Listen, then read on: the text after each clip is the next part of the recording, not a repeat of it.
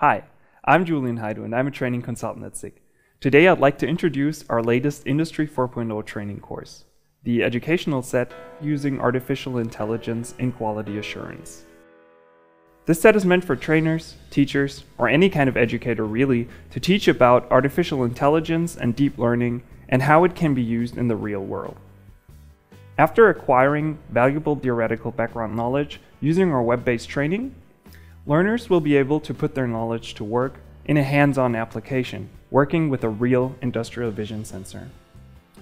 The included documents guide the learners in training their own neural networks, and these networks can then be downloaded to the sensor and can be used in their own applications. The training consists of three integral parts, an interactive e-learning course, uh, a hardware suitcase that houses a vision sensor, and also there are additional training documents um, that help carry out face-to-face -face trainings. The web-based training gives you an easy introduction into the world of artificial intelligence and deep learning. The course is part of the set, but can also be purchased separately at sick.com. It is an easy to understand interactive e-learning course, including a quiz for checking a learner's progression. The course is for beginners and takes roughly 40 minutes and another 10 minutes for the quiz. It is accessible 24-7 through our online learning portal.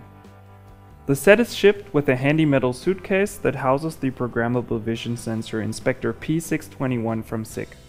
It comes with free access to our cloud service DStudio, which is used to train the neural network. The set also comes with access to additional teacher's documents that help you carry out your own face-to-face -face training.